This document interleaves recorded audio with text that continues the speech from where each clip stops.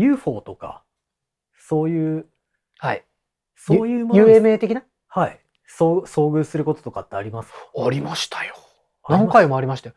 驚くのは、はい。横須賀に自分、横浜が嫌になってしまって、10代の頃、横須賀に、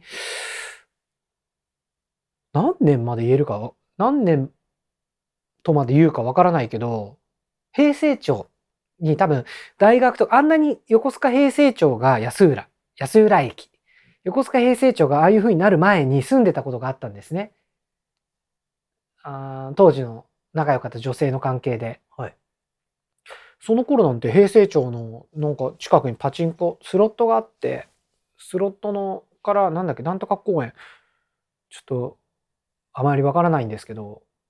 パチンコ屋からまっすぐ行ったところにスケート、スケートとかやる人、スケボーのヘッズたちがいっぱいいるようなところの上見てて何回も UFO は見たことあるし、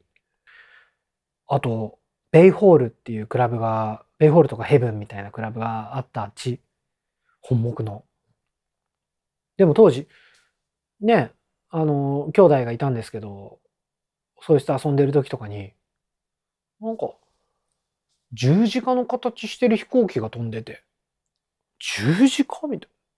十字架の形してるね、みたいな、あの飛行機は、みたいな。まあ、まあ、その時とかも、うね、なんかこんな感じになってるんで、うーん、みたいな感じで普通に話したんですけど、途中からなんか、十字架の上からアフロみたいな形。わーって、わーってなって、それがぐわーって変形してって、まあ、だんだん、十字架が変形するような飛行機はないだろう。ちょうど日が沈んでいく時だったんですよ。その、ベイホールの横、ベイホールからまっすぐ行ったコーナーのところの海が、海っていうかまあまあ船がいっぱいバーッと止まってるところなんですけど、そこでちょっとチルアウトしてて。もうその時はもうその十字架をメインにして周りがブワーッつってなんか変形していくトランスフォーマーかよみたいな。まあそんなのもあって、だんだんおかしいねでその時の兄弟となって。